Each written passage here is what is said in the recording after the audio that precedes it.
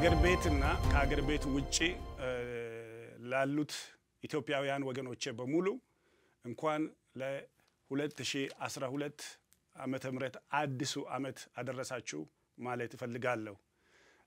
መቼም እንደምታውቁት በሀገራችን ላለፉት ጥቂት ዓመታት በብዙ መውጣትና መውረድ ውስጥ እያለፈ ነው ህዝባችን ያለው። በዚህ ጊዜ ደግሞ እግዚአብሔር ለህዝባችን የምናገረው ቃል አለው። እግዚአብሔር ይመስገን። ዛሬ ለዚህ ለአዲሱ ዓመት የማስተላልፍላችሁ ቃል ያለው ትንቢተ ኢሳይያስ ምዕራፍ 66 ከቁጥር 8 ጀምሮ ያለውን ይሆናል። በወቅቱ ኢሳይያስ ይህንን ትንቢት ለእስራኤላውያን በሚናገርበት ጊዜ እስራኤላውያን ልክ እንደ ሀገራችን በብዙ ውጣ ውረድ ውስጥ እያለፉ ነበሩ። ይሆናል፣ አይሆንም፣ ይሳካል፣ አይሳካም፣ ይቻላል፣ አይቻልም በሚል መንታ መንገድ ላይ ቆሞ እያለ እግዚአብሔር ይህንን ተናገረ። እግዚአብሔር ምን አላቸው? በእውኑ እንዲህ አይነት ነገር ማን አይቷል? በእውኑስ እንዲህ አይነት ነገር ማን ሰምቷል? ሀገር በአንድ ቀን ይወለዳል፣ ጽዮን ግን አማጠች፣ ህዝብ ደግሞ ተወለደ ይላል። እግዚአብሔር ይመስገን። እንዴት ሊሆን ቻለ ለምለው እግዚአብሔር ራሱ ሲናገር እኔ ማኅፀንን የፈጠርኩኝ አላስወልድምን? እኔ ጽንስን የሰጠው አቅም አልሆንም አለ እግዚአብሔር። ስለዚህ እግዚአብሔር ማኅፀንን የፈጠረ ጽንስን የሰጠ እግዚአብሔር ለመግፋትም ለመውለድም አቅም ይሆናል ማለት ነው። በዚያን ጊዜ እስራኤል የነበረችበትን ሁኔታ ትንሽ ወደኋላ ዞር ብለን ብናይ ጥሩ ነው። ትንቢቱ ሲነገር ይሄ ትንቢትን በሚፈጸምበት ሰዓት እስራኤላውያን እንደ ሀገር ተበትነው ነበሩ። ተመልሰው ደግሞ ሀገር የመሆን የተስፋ ቃልም ነበራቸው። እንደገና ደግሞ ምሻትም ፍላጎትም ነበራቸው። በአካባቢዋቸው የነበረው ሁኔታ ግን በፍጹም ሀገር ሊሆኑ አይችሉም፣ ህዝብ ሊሆኑ አይችልም። ይሄ ዝም ብሎ ጽንስ የሚወርድ እንጂ የሚወለድ ጽንስ ሊሆን አይችልም። አቅም ከየት ይመጣል የሚሉ ደግሞ ብዙ ድምፆች ነበሩ። ከነዛ ድምፆች መካከል ለምሳሌ በ1948 ዓመተ ምህረት እስራኤል ሀገር በምትሆንበት ጊዜ ሀያላን መንግስታት ድምፅ መስጠት ነበረባቸው። የተባበሩ መንግስታት ድምፅ መስጠት ነበረባቸው። በተባበሩ መንግስታትም ውስጥ ደግሞ ትልቅ ተጽዕኖ የሚፈጥሩ ሀገሮች ድምፅ መስጠት ነበረባቸው። በተለይ ደግሞ አሜሪካ በወቅቱ የነበራት የውጭ ጉዳይ ሚኒስትር secretary of state የነበሩት ጆርጅ ማርሻል የሚባሉ ሰው ናቸው። እኚህ ሰው በጣም የታወቁ ሰው ናቸው።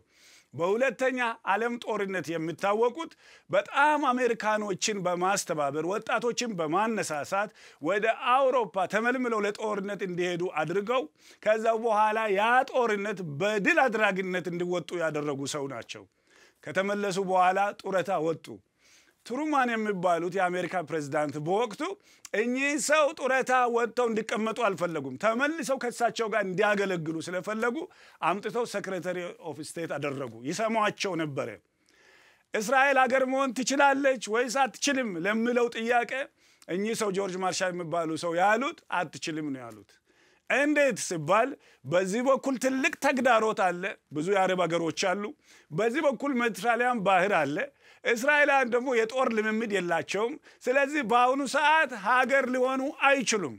ሀገር እንሆናለን የሚለው ሀሳብ ጽንስ ሆኖ ይቀራል እንጂ የሚወለድ ልጅ አይሆንም አሉ።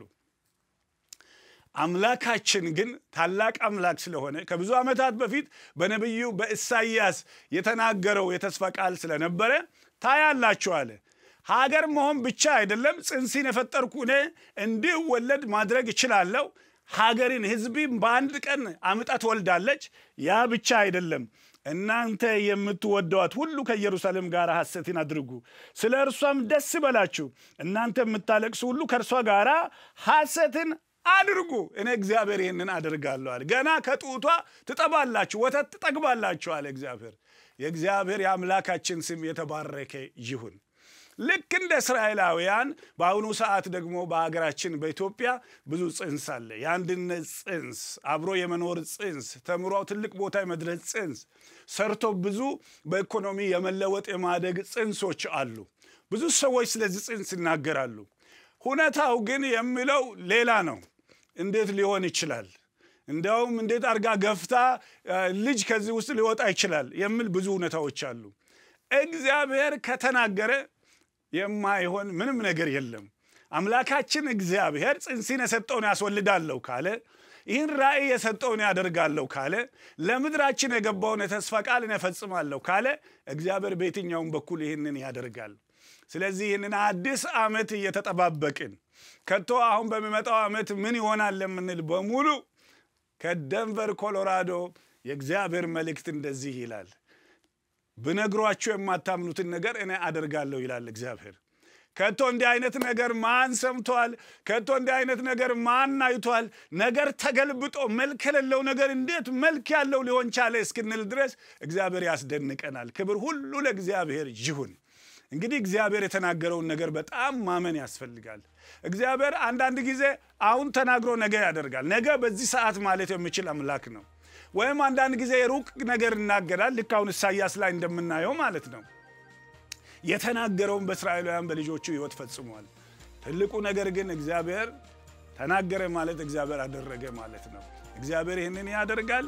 የእግዚአብሔርን ክብር እናያለን። እግዚአብሔር አምላክ ይባርካችሁ። መልካም አዲስ ዓመት